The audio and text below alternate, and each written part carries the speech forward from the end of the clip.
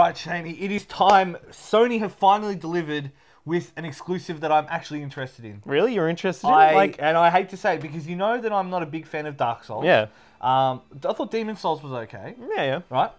Wasn't a big fan of Dark Souls, and now From Software's next one is Bloodborne, Mm. uh, which is pretty much. I don't want to say it's the same kind of thing, but it is the same kind of thing. It's same, same, but different. There's a lot of the same elements they have taken from their previous Souls games, but then they've changed up just everything slightly, but it changes the whole game. The one thing I noticed from playing it is that uh, the game is faster than it Yes. was. I think one of the things that really annoyed me about Dark Souls 2 in particular was how slow and cumbersome it was. And considering it came out at a time when I had Bayonetta just on the on the way, and that's my style of game. Yeah. This seems far more my style in the sense that a lot more dodging, a lot more ducking and weaving, as opposed to shielding because you don't actually have a shield. There's literally no shield until you actually get a shitty wooden shield. Nobody even uses it anywhere because everything's so much faster. The dodge is actually really, really, really tactile feel to it. Yeah. It feels amazing.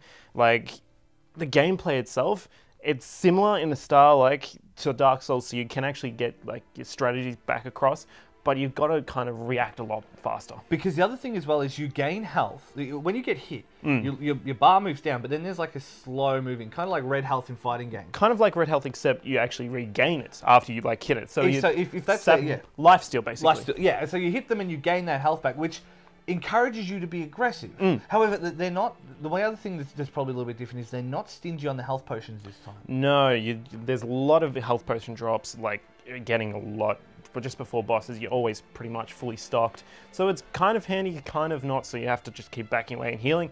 But the heal is so much faster. Everything is so much faster. Healing, like attacking, you've got to just concentrate on your dodging and just go ham. Yeah, and I, I will. I will 100% agree with that. One thing we should also cover is the graphics. Now they're copying a lot Mm. of flack.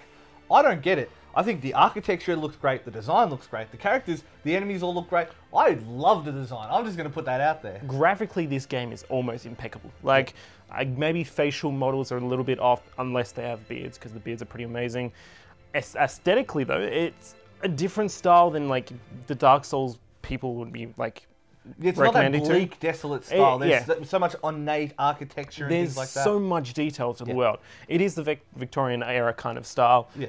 but i really really love this kind of stuff Yeah, uh, so when it's all said and done, I think if the, if there's one thing I took away from it, it strikes me as the game the Order wishes it was, the Helsing game we wish had been made, Hmm.